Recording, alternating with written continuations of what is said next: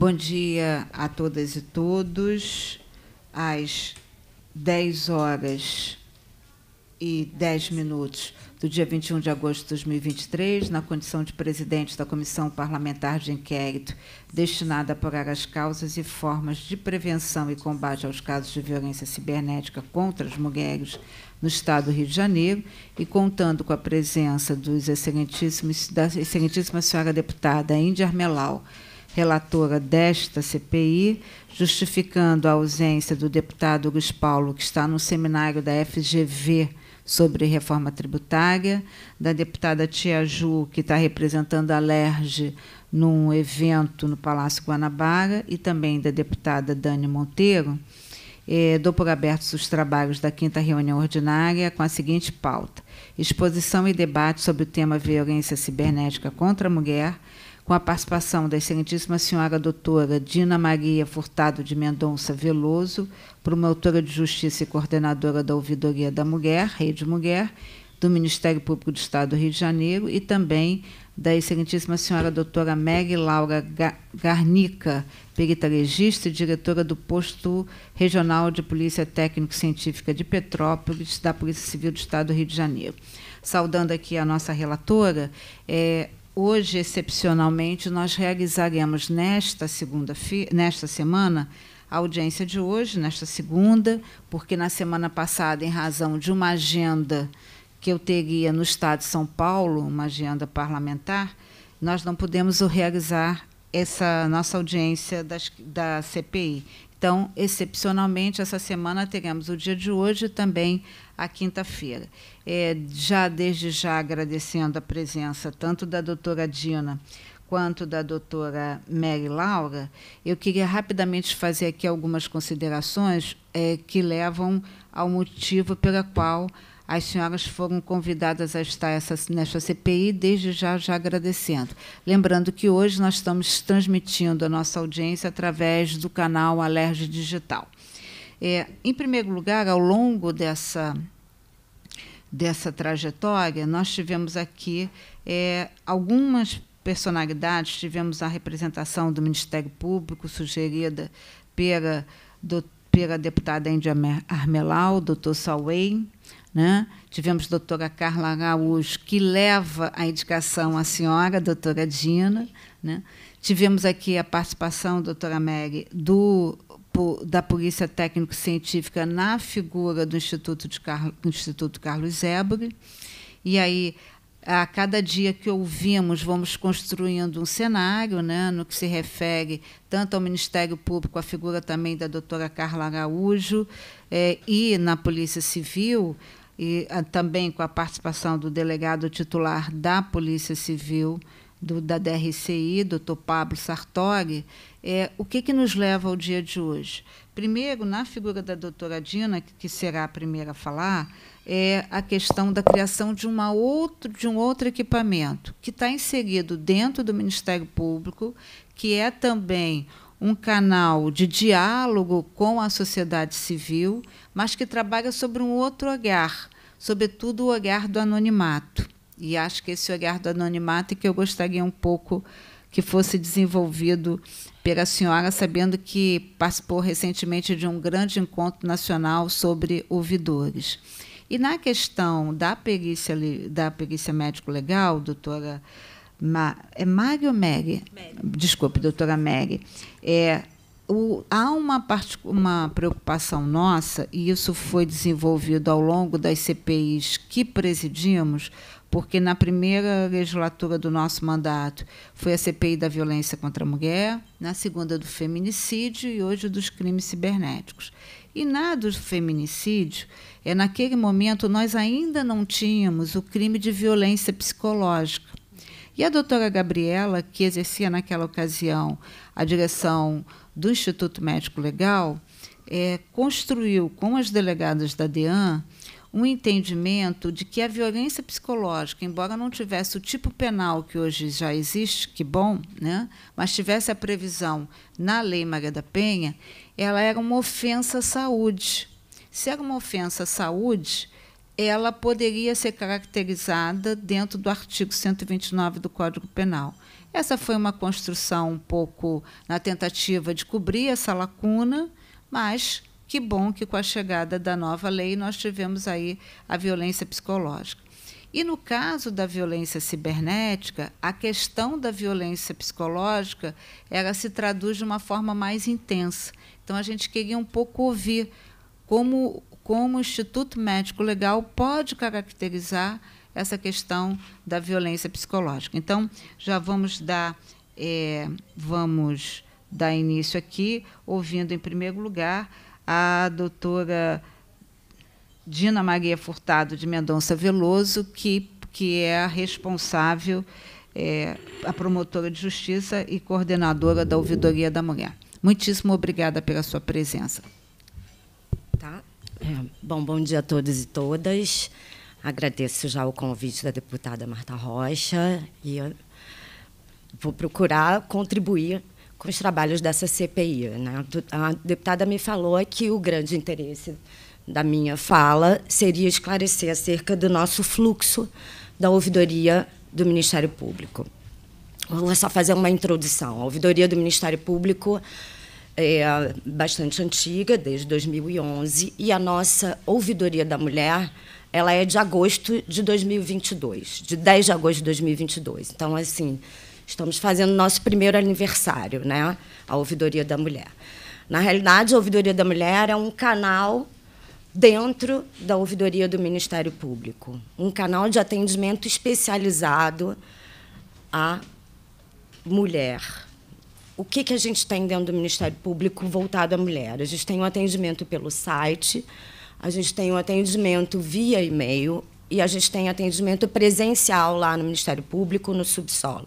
Estamos em reforma para subir, para ficarmos mais próximos, mais visíveis, mas no subsolo já contamos com uma sala, a gente chama Sala Lilás, né, em homenagem ao Agosto Lilás, os profissionais que trabalham ali no atendimento das mulheres, eles são mais preparados para essa escuta voltada a uma escuta para a mulher. E com isso a gente tem essas três formas de atendimento, né? E-mail, repito, telefone, o 127 e esse atendimento presencial. O que, que a gente faz a partir daí?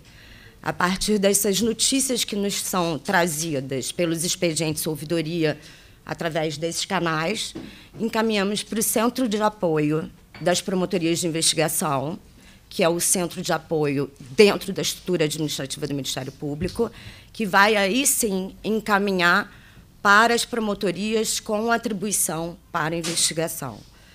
A partir daí, os promotores, com indícios mínimos, com autoria, porque a nossa grande dificuldade é a riqueza de detalhes nessas notícias que nos são trazidas.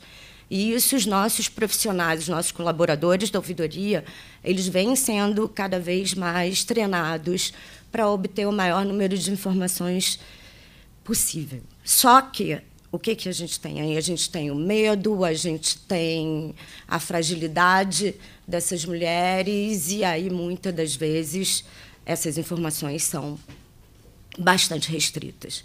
E aí, a partir daí, ou seja, vamos voltar, né? Entra na ouvidoria, Centro de Apoio de Investigação Criminal, Centro de Apoio de Investigação Criminal, vai distribuir para a nossa malha dos promotores de investigação criminal, que são muitos. Né? Nós temos no Ministério Público um documento que se chama CODAMP, que estabelece todas as atribuições de cada promotor de justiça espalhado pelo Estado do Rio de Janeiro, e dentro da CODAMP a gente tem as promotorias de investigação. Mesmo aquela promotoria longínqua de porciúncula, ela tem atribuição em investigação, porque é um juízo único. E isso vai fazendo uma malha dentro da estrutura do Ministério Público. Enfim, esse promotor de justiça, a partir do que ele recebe, ou ele pede para a nossa coordenadoria de inteligência complementar alguma coisa possível, ou ele, de pronto, já instaura inquérito policial para investigação daquele fato. Né? Na violência cibernética, a gente tem aí muito a, a, quebra das URLs, né, e para tentar identificar é, os usuários ali, daquela, se é a vítima, se é o autor do fato, e a partir daí segue com essas investigações. O que eu ia colocar aqui, a gente tem, dentro dessa estrutura da ouvidoria do Ministério Público, a gente ainda tem dados tímidos da violência contra a mulher. É, eu pedi para os meus funcionários fazerem um levantamento, salvo engano, em julho agora, tivemos 8.073 expedientes registrados na ouvidoria do Ministério Público, 125 afetos à violência contra a mulher.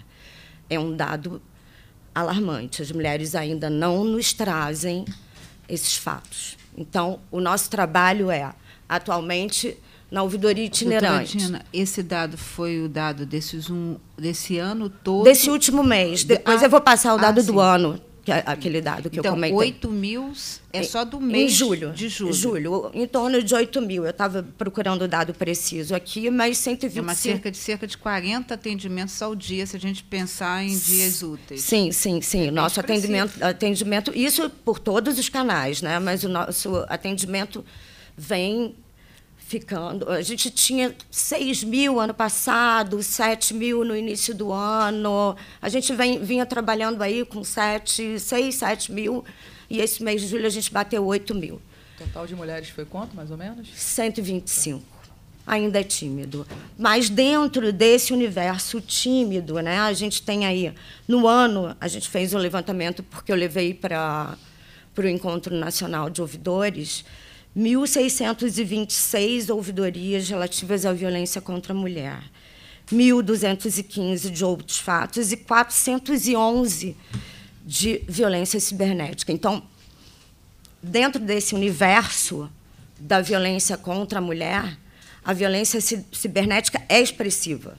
Era cerca de 25%, pode ser?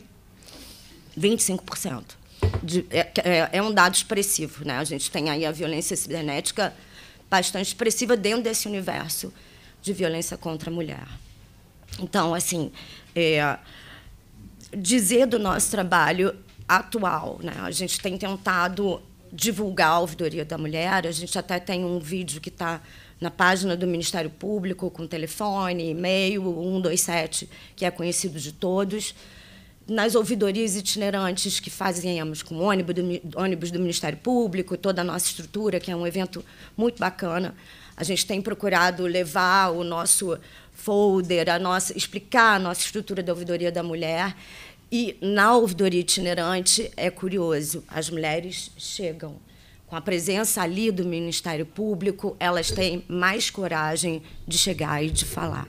Então, assim, o nosso sentimento é que a ouvidoria itinerante é importante e a gente tem procurado trabalhar junto ao Procurador-Geral para estimular a nossa presença em outros lugares. E, basicamente, o que eu tinha para falar era isso. Mas a deputada mencionou agora a importância dessa questão do anonimato.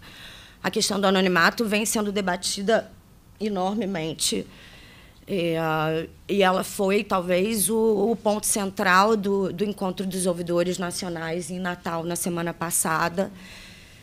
E a gente vê aí uma imensa dificuldade de garantir o anonimato totalmente. Então, temos questões como é, o denunciante ele faz a, a denúncia dele na página da ouvidoria, ele identifica, ele só se identifica. doutora, só chegar o microfone um pouquinho mais. Mais? Espera, próximo.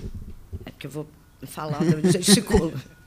Esse, essa denunciante ou esse denunciante, eles vêm, fazem a denúncia, marcam o sigilo, porque na nossa página tem a possibilidade de marcar o sigilo, tem a, a, a possibilidade de não autorizar o compartilhamento, que é um, muitas vezes um problema, um entrave. E só que no corpo da, da, da, notícia que ele nos traz, ele também se identifica. Ele coloca endereço, ele uh, coloca o nome dele, ele coloca dados que são protegidos hoje pela lei de proteção de dados, né? Assim, o dado pessoal ele passou a ser a proteção ao, ao, ao dado pessoal passou a ser um direito fundamental. Então essa é a nossa virada nas ouvidorias como fazer essa proteção de um direito fundamental, né? Proteção dos dados pessoais passa a ser um direito fundamental com a Lei Geral de Proteção de Dados. Então, talvez essa seja a nossa maior questão do momento.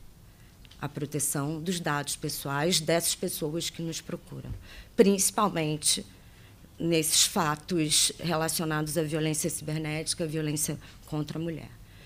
Então, a minha fala é essa.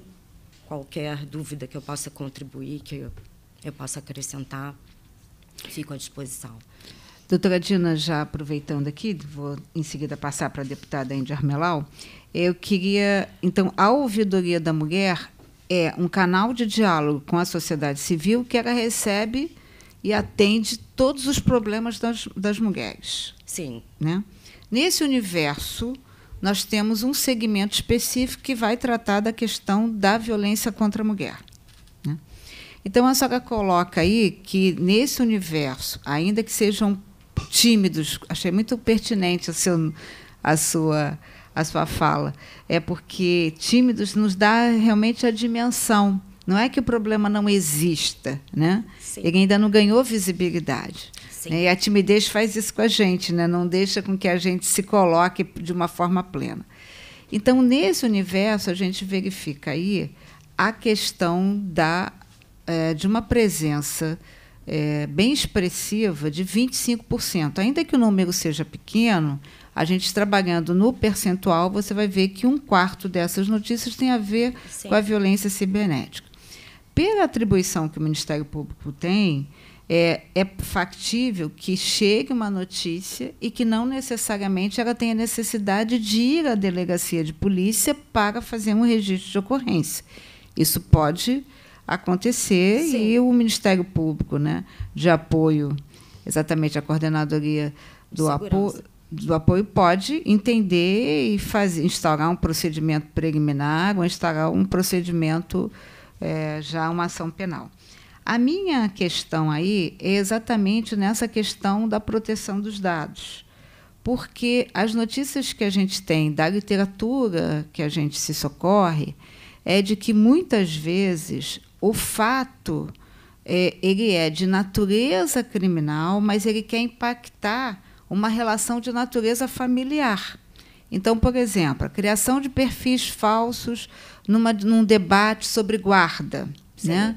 A criação de um perfil falso no debate sobre é, alimentos provisionais. Então, eu, quando essa notícia chega, né, e muitas vezes ela pode chegar de uma mulher que ela não quer aparecer, ela não quer é, dar, mas ela sabe que houve, em tese, a criação de um perfil falso no momento que se discute uma guarda. Né? Uhum.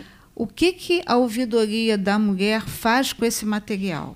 Porque ela tem o sigilo, mas ela não está discutindo. Muitas das vezes, a notícia que chega ao IP não é para impactar uma, um fato de natureza penal, mas sim para impactar um fato de natureza familiar num debate de um processo da vara de família. Então, eu queria entender um pouco isso. Se a ouvidoria faz essa interlocução não apenas com a esfera penal, ou se é da atribuição do Ministério Público, do promotor natural que recebe essa notícia, fazer esse compartilhamento. E quando é que esse compartilhamento pode ser feito, já que o sigilo. E pedir a Vossa Excelência que insista lá com o nosso doutor Guilherme, porque ele não conseguiu estar aqui nesse momento, mas cada vez que eu ouço, e a sua fala foi muito boa, a gente percebe que é importante ouvir é, os responsáveis pelo segmento da proteção dos dados. Não sei se eu fui clara na minha ponderação. É, na realidade, deputada, essa situação ela, ela acontece de regra, até pela minha experiência, eu sou promotora, originalmente, eu sou promotora de vara de família. E o que a gente tem é o inverso, né? O Ministério Público da vara de família toma conhecimento desse tipo de fato no bojo dos processos de guarda. De regra, o bojo dos processos de guarda trazem esse tipo de questão e aí sim a gente vai compartilhar direto com o promotor criminal. Tá. Né, com o promotor de investigação. Então, Mas o caminho é... não é pela ouvidoria. Via de regra, o caminho é da vaga de família para o MP. O caminho de regra é Criminal. é esse, mas, evidentemente, se vier pela ouvidoria uma questão dessa, a gente pode claro, com as cautelas da proteção de dados, né? aquele rachuramento. Hoje a gente faz muito por conta da circulação, até dentro da instituição, a gente tem uma circulação de dados, né? Sim. Se a pessoa marca, não quero compartilhar com outras ouvidorias e outros órgãos, a gente tem que ter esse cuidado, né? O entendimento que predominou é que dentro da instituição, entre promotores de justiça, esse dado protegido ele deve ser compartilhado, ele pode ser compartilhado. Até para análise das Exatamente, das esferas de atribuição. Né? Mas, assim, especificamente, essa questão que a deputada levantou, especificamente o caminho dela é inverso. Perfeito. Pela minha experiência de promotora de vara de família, isso é bastante comum nas varas de família atualmente. É, talvez a, a ferramenta da, da discórdia na vara de família hoje é, é, são os meios cibernéticos. Perfeito. Deputada Andy Armelão. Bom dia. Bom dia. Oi. Bom dia para todos. É, doutora Dina, eu queria só fazer uma pergunta que é até uma curiosidade minha, não sei se a deputada Marta Rocha, já por sua vivência, né, chefe de delegacia, pode me ajudar. É, quando chega algum relato na ouvidoria que realmente vocês observam que aquela mulher ela pode ser atacada, assassinada a qualquer momento. Vocês conseguem ficar com ela, colocar ela em algum lugar? Como é que é feito isso? Que eu acho que assim é minha dúvida, por ser leiga, está aprendendo cada vez mais. E muitas mulheres às vezes não vão por falar assim, mas aí o que, que eles vão fazer? O que, que pode acontecer comigo? Vocês têm alguma rede de proteção assim ou ainda não? A gente, na realidade, o Ministério Público ele se vale da rede de proteção dos equipamentos estatais, né? A gente tem é, essa questão, ela chega e ela chegou recentemente, inclusive com uma colaboradora nossa é, em risco. E o companheiro dele, inclusive, trabalhava próximo. E foi uma situação bastante estressante para a gente. E a gente conseguiu dali já entrar em contato com a promotora de justiça com atribuição. E ela já tomou as providências cabíveis. E porque um relato ela conseguiu falar né? Essa essa mulher conseguiu falar com riqueza de detalhes e e tudo aconteceu e esse esse sujeito foi preso então, foi um fato recente que a gente conseguiu proteger. Mas isso também é uma angústia nossa. Né? Então, assim, a gente tem que se valer dos equipamentos. A gente tem no Ministério Público uma, um núcleo de atendimento à vítima que a gente pode usar. A gente tem ali, é no andar da ouvidoria, né? Então, a gente tem ali as colegas que trabalham com proteção às vítimas de violência, elas têm equipe técnica, porque nós, da ouvidoria, não temos equipe técnica, não temos psicólogo, não temos. Mas a estrutura, bem na nossa frente, eles têm psicólogo, assistente social, a gente pode contar com psiquiatras do nosso GAT. Então, assim, essa situação, nesse ano de ouvidoria, aconteceu dessa forma e a gente conseguiu, graças a Deus, é, contornar e o sujeito foi preso e a gente conseguiu resolver. Mas Essa pergunta alguma... é muito boa, vou dizer por quê. É, quem sou eu para fazer juízo de valor das suas perguntas? Mas você, uh, você falava, deputada, e eu me lembrava dos meus dia, do meu dia a dia na delegacia. Inúmeras vezes nós passamos com mulheres e seus filhos pernoitando na delegacia porque não tinham para onde então, ir. Essa é, é e hoje, no cenário que a gente verifica, nós somos 92 municípios, dois abrigos. Um abrigo na capital e um abrigo na Baixada Fluminense. A diferença hoje que eu acho que a gente conseguiu é que, com a articulação das delegacias de mulheres com o Sim. Tribunal de Justiça e com a parceria do Ministério Público, nós conseguimos uma articulação direta. Então, aquela mulher que a autoridade policial, naquele momento, que é o que está sendo dito aqui, e é real, costumeiro, a sua pergunta é muito boa. A gente percebe que ela tem um risco real e concreto, né? então se, se aciona o Tribunal de Justiça, o Tribunal de Justiça vem buscar essa mulher e o Tribunal de Justiça zela por encaminhar essa mulher para algum equipamento. Né? Obviamente que esse pedido pode ser feito também diretamente pelo Ministério Público, pela Defensoria. Agora, para as delegacias de polícia, essa articulação com a participação do Tribunal de Justiça foi fundamental. Aí pode acontecer, ah, mas a mulher chegou na delegacia de Magé. Então, o que a gente sempre orienta é que o colega de Magé acione a delegacia da Baixada para que a delegada da delegacia, porque isso é uma estrutura já é, é. uma interlocução só interromper. Na realidade, todas essas promotorias de interior, etc., elas têm a atribuição e elas têm essa preocupação de criar um fluxo para isso. Né? Aqui, é, a deputada perguntou especificamente da ouvidoria, porque aconteceu com a gente na ouvidoria. E aqui na sede a gente tem esse núcleo de atendimento à vítima. Né? Então, e essa articulação ela é muito incipiente. A gente, a gente tem que melhorar cada vez mais. E a gente vem trabalhando para isso, até porque eu acho que esse ponto é um ponto fundamental. As mulheres ainda não sabem, não confiam. E, mas esses fluxos vêm sendo fortalecidos, né? das delegacias locais. Eu acabei de fazer, a gente já fez a itinerante em Barra do Piraí. Né? E em Barra do Piraí, ali na hora, a gente porque a itinerante é muito interessante. Você consegue trazer a, a, prefeitura, você traz a delegacia. Então, ali na hora, a gente já conversou, tem que criar o fluxo para ver para onde vai mandar, como vai proteger essa mulher. É, e isso vem sendo construído. A gente está aí em construção disso. Deputada Índia? Eu acho que assim, é, os dados chegando, a gente podia estudar, porque nós sabemos que não podemos colocar 92 é, abrigos. abrigos em 92 municípios, mas estudar Sim ali no gráfico onde colocamos os abrigos que os municípios consigam ter acesso mais fácil. A gente sabe que a capital muitos tem acesso, uhum. mas o pessoal lá de Barra sai. Sim. Entendeu? Então, assim. É... A perspectiva de fazer um abrigo regional. Regionalizar os abrigos. Regionalizar é uma ótima já, ideia. Já ameniza muito uhum. e as mulheres vão se sentir mais abraçadas, porque muita gente de lá não consegue fazer a denúncia, acaba, infelizmente, chegando às vezes de fato, que a gente tem dito aqui, porque não tinha um local para ter abrigo, está com um filho pequeno, acaba aceitando. Então, ótimos dados. Não, vai, vai, disponibilizar, né? Sim. Os dados. E muito boa da sua intervenção também, deputada Índia, é que a, o relato da doutora Dina é de uma profissional do Ministério Público.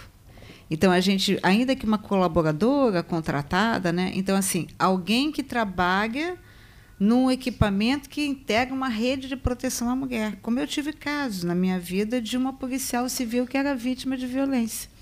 Então, assim, a gente acha que isso não acontece, desculpe o termo, né?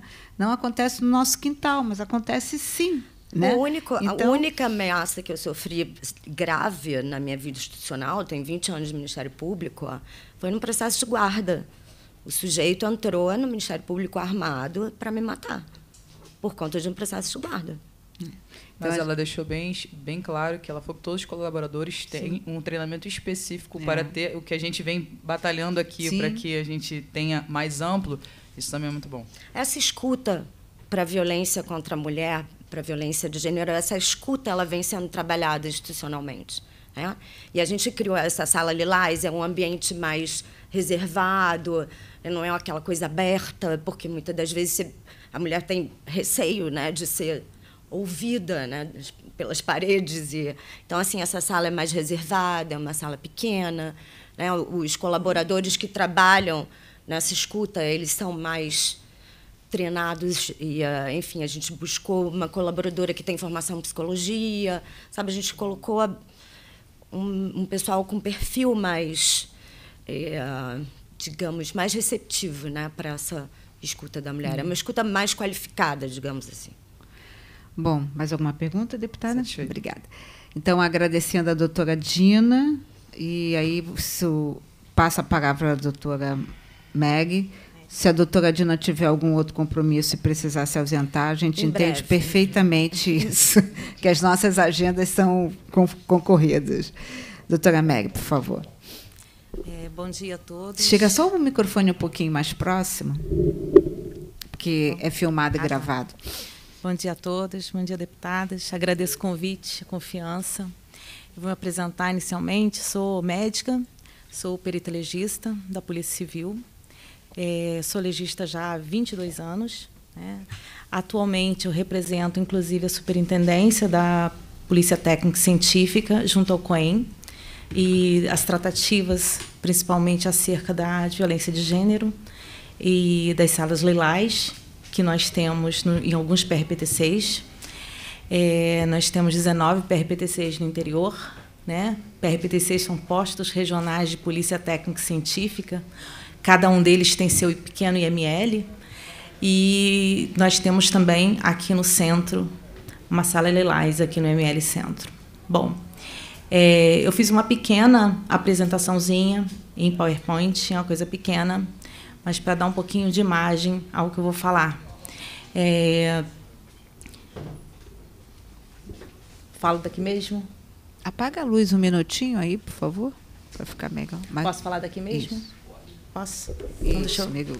Com licença, eu vou virar para lá. Claro. É, os primeiros slides eles falam muito sobre violência, o que é violência para a Organização Mundial da Saúde.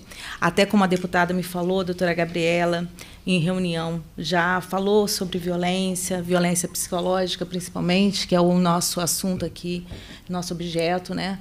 Como a OMS caracteriza a violência, e ali a gente vê que o dano psicológico ele integra uma, um resultado de violência, segundo a Organização Mundial da Saúde, próximo. Eu não vou ficar lendo tudo, não. E a violência psicológica, né, sem gênero nenhum, ela é constituída também né, quando ocorre um abuso de poder, né, agressão por palavras, gestos, exposição, humilhação, tudo que a gente sabe, a gente já conhece, isso falando sem gênero, sem falar mulher ou homem, de uma forma geral. Próximo. Bom, aqui eu tenho, ficou meio ruim, mas eu tenho assim umas, alguns conceitos de crime cibernético. Né? Como a gente vai falar violência psicológica em virtude de um crime cibernético, é importante que se fale que tudo que está na rede, tudo que se usa um computador, mas não só um computador, mas a rede de internet, é considerada violência cibernética, crime cibernético. Próximo. É, os decretos, tanto o, esse decreto que colocou é, que promulgou a Convenção de Budapeste no nosso país são utilizados de forma importante para a gente começar a colocar leis mais importantes, né? É, criminalizar melhor, diria assim, né? É, os crimes cibernéticos. Próximo. Que iniciaram mais ou menos em 2012 com a lei da Carolina Dickmann. Próximo. Bom, é, esse tem um estudioso que fala como o crime cibernético ele é fácil, né? Porque é só você ter um computador ou um notebook, né, um smartphone, qualquer coisa, uma coisa muito fácil, em qualquer lugar do mundo. Tanto o criminoso como a vítima podem estar em qualquer lugar do mundo. Então, é um crime muito simples, muito fácil de ser executado. Próximo. Esse estudioso Siqueira. Próximo. Bom, ali eu tenho uma, um rankingzinho que se fez no Ministério Público Federal. Né? A gente tem uns volumes que eles fizeram exatamente sobre crime cibernético, eles colocam os crimes cibernéticos mais comuns. E ali a gente tem o que a gente chama é, de mais importante para essa apresentação, que são os crimes de, crimes de violência sexual né, na área cibernética, né, que são os mais importantes. É, próximo. Pornografia infantil e etc. E essa lei, que ela criminaliza a violência contra a mulher na área psicológica, próximo. Bom, é, esse anuário de 2023, ele já começa a traçar, né? Ele começa a traçar a violência psicológica contra a mulher, não contra a mulher, na violência psicológica de uma forma geral, e ele coloca os dados né, de 2022 e coloca os dados bem altos, né, perto de 3 mil casos no Rio de Janeiro. Ele coloca no estado do Rio de Janeiro. Próximo. E os crimes cibernéticos, por fim, os que a gente vai falar: estupro virtual, pornografia infantil, pedofilia virtual, incitação à violência contra terceiros, incitação à violência contra animais, incitação à autolesão e incitação ao suicídio. Próximo. Então é importante que, que a gente fale que eu sou legista. Então, como esse crime chega para o legista, como o crime, como o legista vai ver a violência psicológica é, atribuída a um crime cibernético, como isso vai ser visto pelos peritos legistas. É isso mais ou menos que eu quero passar para vocês, como a gente vê isso, né? Ah, de forma direta, de forma indireta, como isso é visto. Bom, o estupro e o estupro virtual. Quando a gente fala de estupro, a gente está falando de dois crimes, conjunção carnal e o ato libidinoso diverso da conjunção carnal. Então, o legislador ele pensou muito nisso aqui e de um tempo para cá tem se visto o estupro virtual de uma forma é, utilizando o ato libidinoso como crime. Né? Porque a conjunção carnal, principalmente para o leio, o que é a conjunção carnal? É um crime pênis-vagina. Então tem que existir o crime pênis-vagina. Desculpa os termos, mas não tem outra forma de falar. Desculpa, deputados.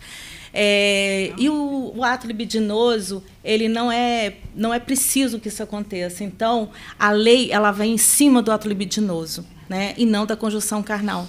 Se, qualquer coisa me interrompa, por favor, tá? Não, a gente falou que até o seu jeito é tão Eu educado, delicado de falar. Falou com tanta elegância que nem precisava ter pedido desculpa. Que com certeza comigo não ficaria assim, eu até brinquei.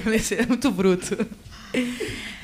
Então é isso. A gente, o que eu quero dizer é que existe o crime, existe o crime, apesar de não existirem às vezes a, a, a, montagem como foi feita e como a gente pensa, poxa, mas estupro, alguém precisa pegar a vítima e fazer isso? Não. O legislador já pensou nisso, já está sendo visto como ato libidinoso, é crime de estupro, porque hoje o crime de estupro é tudo, né? Ele é conjunção carnal e o ato libidinoso, mas o que está se pensando é na parte do ato libidinoso. Próximo.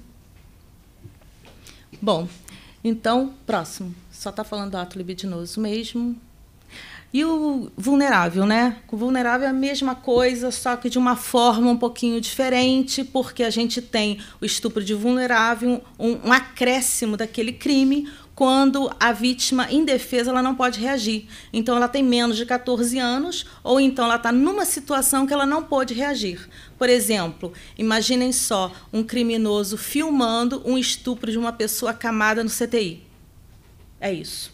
Tá? Então, além do crime de estupro, é um estupro de vulnerável, porque aquela pessoa não podia reagir de forma alguma. Próximo. Então, Qualquer ato de libidinagem ofensiva à dignidade sexual da vítima não precisa ter o contato físico, isso que a gente vai chamar de crimes cibernéticos virtuais.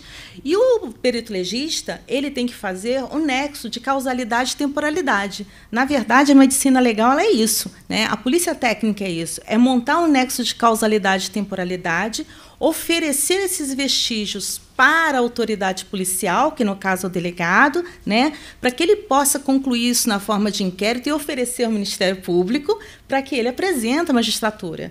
Né? Então, o perito legista ele tenta oferecer os vestígios os mais contundentes, os mais organizados possíveis.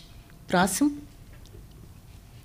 E durante a pandemia isso aí aumentou demais, né? Eu acho que parte do que a gente está falando hoje, parte do que está acontecendo nessa forma acelerada no nosso país e no mundo, é, se deve à pandemia, isolamento muito grande, né? A gente tem esse estudioso que diz que aumentou em cerca de 300% os crimes. Próximo, os crimes durante a pandemia. Então, a legislação próximo, pode passar. É, no ano de 2017, a gente tem um exemplo aqui que em Teresina já houve a prisão de pessoas por conta de estupro é, virtual, crime cibernético. Próximo.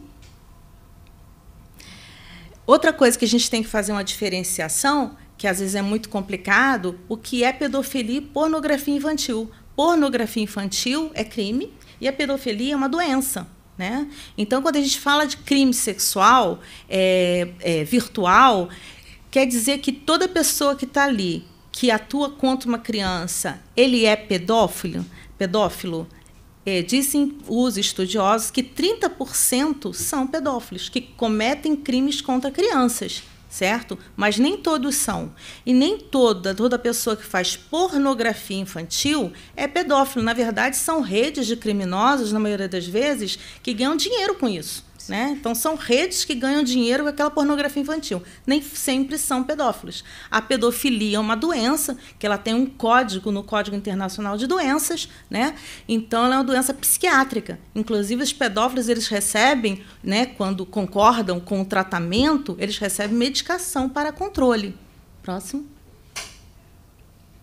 Então, o que acontece é isso. A perícia ela recebe uma denúncia né, de um fato que está sendo investigado é, e ela tem que estabelecer um nexo de causalidade e temporalidade em cima daquele fato, que no nosso caso aqui é uma violência psíquica por conta de um crime cibernético. Então, como estabelecer esse nexo? Né? A avaliação da violência psicológica. Tem a perícia forense, e dentro da perícia forense a gente tem a medicina legal e a gente tem a perícia criminal né, que é a perícia de informáticas. Então, a gente tem que fazer uma junção dos dois atores que participam da perícia, né? Então a nossa casa ela tem que investigar de uma forma conjunta para estabelecer um nexo de causalidade. A pessoa que tem violência psicológica tem nexo de causalidade com quando ela recebeu essa violência, então vão ter que ser estudados também os computadores, os laptops, os notebooks.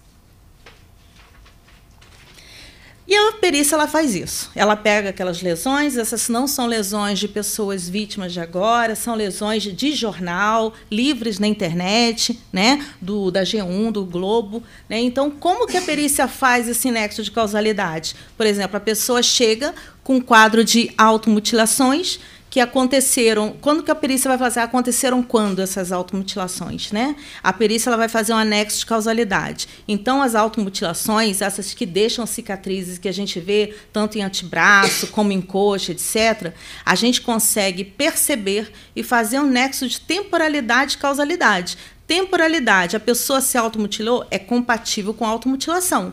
Mesmo que a pessoa não fale, é compatível com quando ela se mutilou. Na primeira imagem que a gente vê, as linhas elas estão bem vermelhas, né? Então, uma ferida realizada com, por exemplo, uma lâmina de bisturi, uma tesoura, né?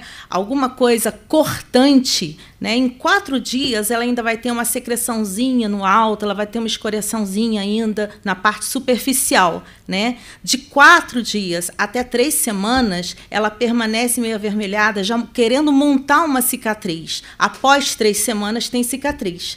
Então, o que eu posso falar para vocês é que a última lesão ali, ela tem mais do que 21 dias, com certeza tá? Mas, eu, mas Mary, é, entre 21 e 60 dias. Não, posso falar que ela tem mais de 21 dias. A gente não pode falar mais do que a gente pode, mas a gente pode falar o que ela não tem. Por exemplo, não foi feito ontem, né? Então, se a periciada fala assim, ah, não, isso aqui foi feito ontem, não, não aconteceu, quando a pessoa está em negação, a gente pode falar assim, não, pelas lesões, as lesões falam e a gente pode dizer quando não aconteceram, tá? Próximo. É, a alteração do comportamento, a agressividade das pessoas, né? Isso tudo fala a favor de que possa ter acontecido uma violência psicológica desse paciente, né? Então, por exemplo, a mudança de comportamento na escola, etc. A mãe suspeita, pega o smartphone do, da criança, leva na delegacia, está sendo feita uma investigação é possível filiar um com um nexo de causalidade, temporalidade, essa mudança de comportamento, a pessoa começou a bater nos outros, etc. É possível. Através de um laudo psiquiátrico, um laudo psicológico, a gente trabalha em conjunto. Então, esse colega psiquiatra ou psicólogo forense, ele faz um laudo né, um laudo bem embasado, um laudo robusto, para que o perito legista possa pegar aquele laudo e oferecer, olha, realmente tem um nexo de causalidade, temporalidade, a gente faz um laudo indireto. Próximo. A gente bem lembra da baleia azul, né? A gente bem lembra disso quando aconteceu em 2017, né? Um monte de desafios que levaram um monte de adolescentes, de crianças a fazerem coisas absurdas e muitos terminaram em suicídio, certo? Então, o suicídio também é uma forma que chega para a gente. Tá? Então, não só a gente tem, é, a gente tem várias formas, como eu falei, né? as automutilações, a alteração de comportamento, coisas que chamam a atenção, mas também o suicídio na idade adolescente quando uma menina se suicida, uma criança suicida. Ali eu tenho algum, algum caso bem interessante para contar, né? É um caso que aconteceu realmente, não vou colocar nome, claro que não, mas eu posso contar o caso, né? Uma menina de 16 anos que se suicida ouvindo o fone na hora que a perita criminal chega, essa dinâmica a doutora Marta Rocha está acostumada também, lembra? Acostumada não, né? Mas Sim. lembra muito bem. Sem dúvida. É, é a menina ouvindo a perita criminal chega e muito espertamente tira o fone e vê qual é a música. Estava ouvindo Adele, né? Uma música muito depressiva. O delegado, muito assertivo, pegou o smartphone da menina, desbloqueou na hora. Tinha desbloqueio com o dedo. Desbloquearam. Começaram a procurar, procurar, procurar. E encontraram um grupo de WhatsApp que estimulavam essa menina a suicidar, acabar com o sofrimento. É, e a gente fica chocado, né? A gente fica chocado com uma situação dessa. Então, isso chega como para nós, peritos legistas? Chega como suicídio adolescente. Então, é uma coisa que nos chama atenção, né? Como essas crianças, adolescentes estão sendo manipulados por grupos. Qual o objetivo disso? Por quê? Não sei provavelmente também doenças psiquiátricas, né? Pessoas que permitem que esse comportamento é, é, venha a florescer em virtude de nas redes não termos face, não termos nada, né? Então, uma coisa extremamente covarde. Próximo. Outro caso também, o estímulo de suicídio com substâncias químicas. Grupos, também tivemos. Uma menina de 19 anos, que eu chamo de menina, 19 anos, né? estimulada a se suicidar, inclusive é, ensinando como se suicidar, qual a substância comprar. Né? Uma covardia, mas esse caso chega para nós legistas. E chega como? Chega uma criança morta, chega um adolescente morto, suicídio. Né? A gente poderia deixar para lá, deixar uma cartinha e tal, deixar para lá, mas não. Vamos ver suicídio de quê? Uma substância química. Vamos procurar nas redes, está aqui nas redes. O notebook da menina estava lá o grupo que estimulava ela a se suicidar. Próximo. Então, a perícia de informática é essencial, né? tanto a quebra dos smartphones, né? A gente tem o Celebrity no, na Polícia Civil, acho que o Ministério Público também tem, Celebrity, que é uma ferramenta importantíssima para quebra de celulares, né? Mas os peritos em informática eles fazem trabalhos brilhantes também de entrar dentro dos smartphones, porque quando a gente tem criminosos que têm expertise para hackear literalmente determinados aparelhos, a gente precisa ter do nosso lado, o lado do bem, né? Pessoas também qualificadas que também invadam sistemas para procurar. Então tem que ser cada vez mais nós precisamos organizar, nos organizarmos para combater esse esse crime próximo. E aqui eu coloquei só exemplos do que a gente está fazendo. Eu acho que o Brasil inteiro está acompanhando esses casos de, de pessoas que se valem dessa, dessa cortina. Próximo. E aqui casos desse, dessa semana ainda que aconteceram e ainda estão sendo investigados, casos de pornografia infantil, casos de pedofilia, casos de uso de imagens, né, pessoas, né? Rompeu o namoro, vai usar as fotos que a pessoa te mandou de nude para colocar nas redes sociais e fazer chantagens. Casos covardes. Próximo. Próximo. Obrigada. É isso. Eu espero ter colaborado. Muito. Volta aqui. Bom, obrigada, doutora Meg. Colaborou muito, pode ter certeza disso. Eu queria fazer uma observação que é muito no aspecto preventivo. Uhum. Né? sobretudo quando a gente pensar em adolescentes e jovens mulheres. Né? A senhora colocou aí dois belos, belos exemplos, não, dois importantes exemplos, sobretudo com adolescentes e jovens. E se é difícil trabalhar na apuração, trabalhar na perspectiva da prevenção, eu acho que também é uma tarefa que não é nada fácil. Olhando da sua experiência, né, se a senhora fosse sugerir, que de um lado acho que ficou muito claro para nós, é tanto na fala da Polícia Civil, do, é, da Polícia Civil, dos delegados e dos profissionais da perícia criminal, a necessidade da atualização dos equipamentos. Né? Uhum. Esses equipamentos são muito dinâmicos, a cada dia aparece muito mais outros equipamentos e, infelizmente, a administração não não trabalha com essa serenidade né, na aquisição. O próprio doutor é, Sauei falou também da necessidade, até sugeriu a compra de um equipamento. Verifact. Oi? Verifact. Verifact, exatamente. Então, tudo isso.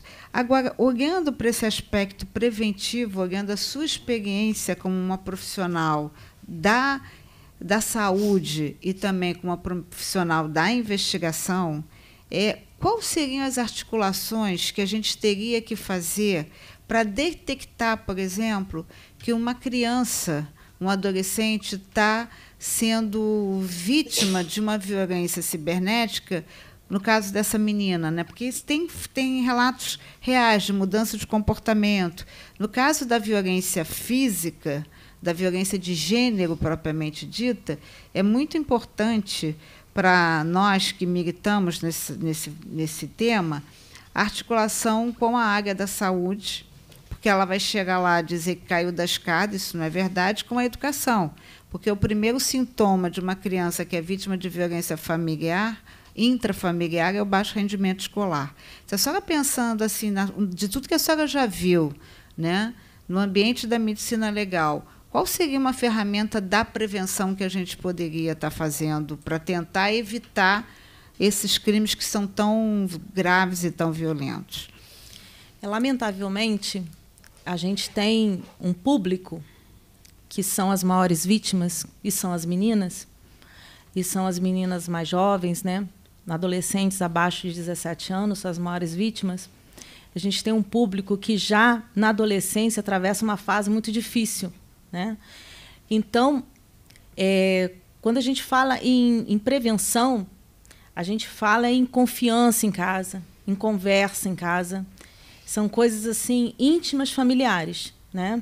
Mas eu acredito que é, os médicos da rede pública eles podem ficar mais atentos a quando eles, por exemplo, por um motivo ou outro, eles acessam é, marcas de automutilação, né? Isso dá para você ver, isso é visível demais e assim você não pode passar por isso e falar que não é nada, né? Então essa essa essa colocação para os médicos da rede pública que, que colaborem dessa forma, que mostrem, né? Que se mostre para eles no que que isso pode é, chegar né? Isso pode não ficar só na automutilação. A colaboração dos próprios serviços de psicologia e psiquiatria, ajudando também, de alguma forma, a denunciar esses crimes. Eu sei que os conselhos vão falar contra, porque os conselhos eles têm o sigilo, que é muito importante. Isso tudo tem que ser questionado. Por quê? Porque nós mudamos os nossos paradigmas é, nós não estamos mais há 20 anos atrás. As coisas mudaram e tão aceleradamente, e mais ainda com a pandemia. Né? Então, você vê ali, o estudioso coloca mais de 300% no aumento de crimes cibernéticos. Isso é muita coisa. Né? Então, é preciso que a gente mude nossa forma de ver essas lesões, mude nossas formas de ver essas queixas em consultório. E a gente tem que se inserir dentro da sociedade a gente acredita muito na segurança cidadã, que é uma segurança dividida entre todos os atores da comunidade. Vai do professor, vai do médico, o médico do posto de saúde, né? o profissional de enfermagem, o psicólogo, o psiquiatra. Né? Então, é, é importante que a gente coloque toda a sociedade nessa problemática. O, a, o, problema não é só da polícia, o problema não é só do Ministério Público ou da magistratura, né? O problema é de toda a sociedade. Quando toda a sociedade entender que as nossas crianças, nossos jovens, eles estão em risco, aí assim, eu acho que as coisas vão fluir mais, porque elas fluem muito mais rápido com a denúncia. A senhora tocou num ponto que é muito interessante, que é a lei da notificação obrigatória dos crimes de violência doméstica, né? E a gente percebe que há um esvaziamento dessa lei. E não, esse esvaziamento não é decidido pelos profissionais da saúde. É que os profissionais da saúde, os conselhos consideram né, a garantia do, do anonimato. A lei não pede para você identificar Marta, o que ela pede é para você identificar uma mulher de mais de 60 anos, né? é isso que ela pede, branca, moradora da Tijuca, é outra coisa que se, que se pede, né? mas a gente consegue ver que não tem, na verdade, doutora Dina, não, não, consegue ter efeito. Então, você não consegue produzir a política pública preventiva. Porque se você tivesse esse mapa de onde está acontecendo esse fato, você poderia, através dos outros órgãos, dos órgãos de assistência social, de direitos humanos, de serviço social, melhor dizendo, fomentar o debate, preparar e fortalecer aquelas mulheres, mas isso não acontece. Né? Então, acho que esse olhar da gente pensar e repensar essa nova dinâmica é importante. Doutora Dina, quer contribuir? É, o problema da subnotificação, né? Salvo engano, o colega Sauei falou sobre Sim. isso, que há uma questão, né? Esses dados que a gente tem na ouvidoria, que até posso fornecer posteriormente os dados bem corretos, Isso seria eles, ótimo. Eles mostram isso. Né? Na realidade, a gente não é possível que em 8 mil é, ouvidorias a gente só tenha 125 de violência contra a mulher. Né? Isso falando é. de violência contra a mulher. Então, é, a subnotificação é, é Exatamente. É evidente. Eu acredito, se a doutora me permite, é, que seria interessante colocar os conselhos regionais no meio. O Conselho Regional de Medicina ele pode ser assim é, solicitado para que, junto com os colegas, que todos somos do Conselho Regional, é, possamos ser esclarecidos sobre essas normas, né? Porque nós legistas nós temos uma maior proximidade da lei, etc, né? Mas os colegas da assistência médica não têm, né? E talvez uhum. não compreendam aonde chegaria isso. Essa ideia é uma boa ideia. Essa é uma boa ideia de, suge talvez. É, de sugestão. Né, de é. você sugerir que o, da, até da própria CPI, deputada, que os conselhos promovam né, esse, essa articulação, não necessariamente a criação de uma nova lei, uhum. mas de sensibilização, sobretudo nas emergências, Sim. que é na porta da emergência que vai era, esses problemas com certeza vão aparecer de uma forma muito mais gritante, né? Deputada Índia Armelau. É, o que acontece também é que na pandemia a gente teve o aumento do uso da internet, porque muitas pessoas ficaram em casa e eu fui uma das pessoas que usei mais a internet também. Só que o que é vendido é que a internet é um mar de rosas. E as pessoas acabam olhando uma influencer e querendo a vida daquela pessoa. Hoje você pergunta o que uma criança quer ser, ela fala que quer ser influencer, ela quer ser youtuber. E eu acho que a gente ter palestras explicando a, o real sentido, o, o que realmente acontece no mundo da internet seria legal, porque a gente tem vários depoimentos de é, influências que saíram da internet porque entraram em depressão, quase suicidaram por mensagens de você tá feia, você tá gorda, você. E eu sempre bato nessa tecla. Só se exponha se você tiver a consciência de quem você é e você tiver uma base boa. Então, não sei se falando com conselho também de psicologia, de fazer palestras em alguns colégios, nem que sejam poucos, porque tu faz uma palestra grande, uma menina vem conversar com você, já é uma, uma vida salva. Sim. Então, assim, eu fico muito preocupada também com as crianças que são expostas. A senhora falou sobre pedofilia, sobre a pornografia. Hoje temos muitas mães que colocam seus filhos na rede social. E eu queria só saber se a gente tem como fazer algum mecanismo para proibir, para denunciar esse tipo de pai e de mãe que acaba expondo a criança na rede e tentar salvar, né? Como a senhora falou, adolescentes e crianças, a gente tem que ter a inocência deles para eles saberem o que está acontecendo. Então, a gente tem algum mecanismo que venha a ser trabalhado para a gente ir nessas é, empresas e falar, ó, menores de idade que vão ser expostos dançando, sem roupa, pelado, tomando banho, está proibido, a conta vai ser notificada. A gente consegue fazer isso ou não? Vou passar para a doutora Meg e depois para a doutora Diana, que pode contribuir também. Bom, eu acho que eu não, ter, não teria uma resposta é, científica para isso. Minha resposta seria eu, o que eu ouvi falar, né, que essas redes, essas grandes empresas, elas, é, para você abrir uma conta de Instagram, de qualquer coisa, você tem que ter 18, 18 anos, anos né? o que não é fato. A gente vê um monte de gente, ah, tem 18, mas você vê a criança tem 6, né? E já se expondo, como a deputada falou. E, e, a gente vê também que essas empresas elas colocam muito, muitas barreiras quando se pede para tirar determinadas cenas do ar, né? Aí a gente até escuta falar né, de multas astronômicas, mas para eles isso é trocado. Né? Então, é, não saberia dizer se existem mecanismos jurídicos para obrigar isso. E na FARA, só um pouquinho, doutora Dina, e na FARA aqui, Sal, doutor Salway, porque a retirada de circulação da imagem é algo muito importante para todo mundo. Para as mulheres, na violência cibernética, isso é fundamental mas muitas das vezes a retirada imediata pode acarretar algum tipo de prejuízo para a preservação da prova. Isso foi colocado é. aqui. Né? Uhum. Então, eu acho que a fiscalização dessas empresas, como bem colocado aqui, porque é fato, você entra, né, qualquer. Aliás, está ficando. É, você vê vaga cada vez mais, né, desde a coisa desde aquela coisa poética de uma criança que está aprendendo a falar é. até outro tipo de comportamento que a gente também tem visto. Doutora é, na realidade, a gente tem essa questão dos 18 anos, mas o que a gente vê são pais né, que criam contas deles e colocam seus filhos aí. Então, eu acho que, na realidade, aí vai para um outro campo, que é das promotorias de infância, de Sim. alguma forma representar e responsabilizar esses pais administrativamente. Né? A gente tem aqueles descumprimentos dos deveres decorrentes do, Do- do poder familiar, e aí, enfim, são medidas das promotorias de infância avaliando cada ca- caso a caso, né? bem isoladamente. Mas Mais o que a algum? gente vê é isso. Perfeito. Doutora Meg, para suas contribuições finais. É só agradecer e elogiar mesmo esse trabalho que eu achei muito engra... muito interessante, muito é, que eu acho que vai vai repercutir. Que bom. Com certeza. Doutora Dina.